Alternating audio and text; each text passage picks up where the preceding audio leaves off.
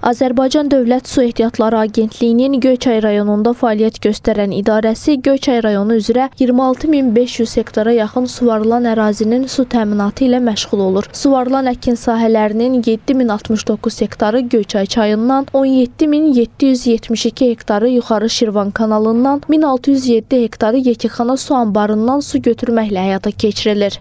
Ayrı-ayrı mənbələrdən suvarma suyunu götürərək su istifadəçilərinə çatdırılması məqsədi ilə idarənin balansında olan 206 kilometrə yaxın təsərrüfat arası kanal və 1517 kilometrə yaxın təsərrüfat daxili kanallardan istifadə olunur. Təsərrüfatlar arası kanallar üzərində 613 ədəd təsərrüfat daxili kanallar üzərində isə 1273 ədəd hidrotexniki qurğu mövcuddur. Yaz yay aylarında Göyçay çayına gələn sel sularının maneəsiz axıdılması və əkin sahələrinin yuyulmasının qarşısının alınması üçün çayda tənzimlənmə işləri aparılmışdır. İdarənin balansında 1666 kilometr suvarma arxı vardır. Cari ilin 2 ayında 80 kilometr suvarma arxı lildən təmizlənmə işləri aparılmışdır.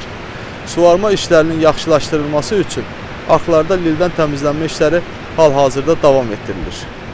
Qeyd edək ki, Dövlət Su Ehtiyatları Agentliyinin Göyçay rayonunda yerləşən idarəsi əraziləri suvarma suyu ilə təmin etmək üçün 3 mənbədən suvarma suyu götürür. Bunlar Göyçay çayı, Yuxarı Şirvan kanalı və Yekəxana su anbarıdır.